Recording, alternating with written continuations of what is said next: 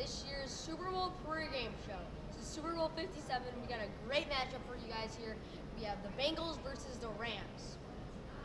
Yeah, the Rams are in their home stadium for this one, so I expect them to win this one with their home fans in, in their own town.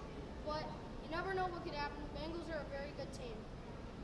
The Bengals have been getting very lucky in the playoffs, like making it to the fourth quarter win.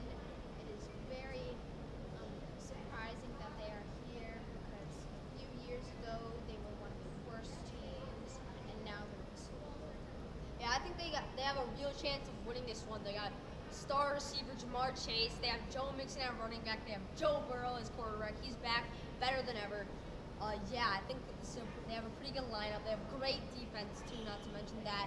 Uh, although uh, Jalen going to be on Ja'Marr Chase, so you never know what he, if Ja'Marr Chase is going to be able to do anything with Jalen Ramsey on him. And Joe Burrow might have to find somebody else to throw to if that's the case. Yeah, guys. I mean, um, uh, Ja'Marr Chase is a very high-powered um, uh, receiver coming out of LSU, you know. But um, uh, he's um, uh, he is a very, very talented receiver. But the Bengals also have other weapons on the side of the ball, such as Tyler Boyd and um, uh, Tee Higgins and Joe Mixon and all them. So they could really get um, uh, some high-powered offense for the Bengals. And I mean, the Rams don't doubt them too. I mean, they're pretty good um, uh, on the offensive side of the ball, but even better on the defensive defensive side of the ball. Finishing third in defense this year. Jalen Ramsey, Aaron Donald, all of them. I have a feeling that the Rams, it's either way for this side. We'll just have to see how it plays out.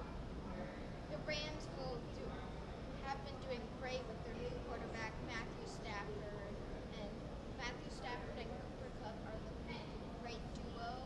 And like he said, their defense is doing amazing this year.